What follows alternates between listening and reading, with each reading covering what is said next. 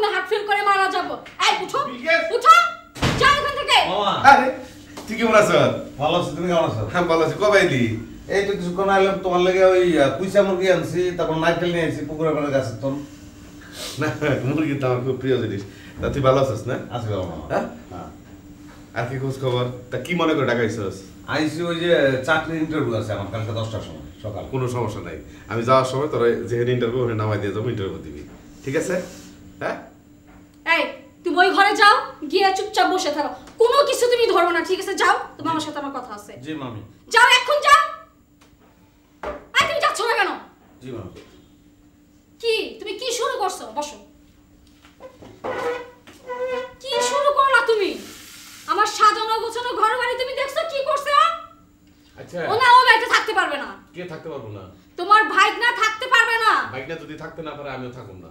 এসব কি বলো তুমি? ভাই এইসব কি মানে? তুমি আমার দশটা না পাঁচটা না একটা বাইক দেন। তুমি তুমি যে অরে উল্টা পাল্টা কথাবার্তা কত তোমার একটু খারাপ লাগে না। এই তুমি যে কি আরম্ভ করছ? তুমি জানো ও আসার পর পর কি করছে? ও ময়লা জুতা নিয়ে আমার সেই ইটালির কার্পেটের মধ্যে এসে দাঁড়াইছে। এই রাখো রাখো রাখো রাখো। এই আজকে যদি ওই উবামা হে তখন কি করবা? তারে কি কইবা যে জুতা মোজা খুইরা তুমি আমার ঘরে ঢুকো? এই তুমি কি প্রমাণ চাও? নিয়ে আসো। ইয়া আবা না কি আবা তাকে তুমি নিয়ে আসো? কি প্রমাণ দিবে তুমি? তোমার বাপ ভাই যদি আহে, জুতা পিজা পিন্দে আমার বাইক আইতে পারে না? তোমার বাড়ি কই থেকে লইছো তুমি? বাড়ি বাড়ি করো। আজকে মরে গেলে কালকে দুদিন নিয়ে কবরের ভিতরে ফালাইতে আইব, বাড়ি বাড়ি করো। আরে এতিম পুলা এটা আজকে আমার যে দেখতেছো, আমার কই থেকে দেখছ জানো? ওর মার কারণে আমি বেঁচে রইছি। ওর মা যদি না থাকতাম বেঁচে থাকতাম না। ওর তিন মাসের এখন মারা গেল। আমার পানির থেকে উঠাইলো, ওর মা পানির নিচে ডুবে রইল।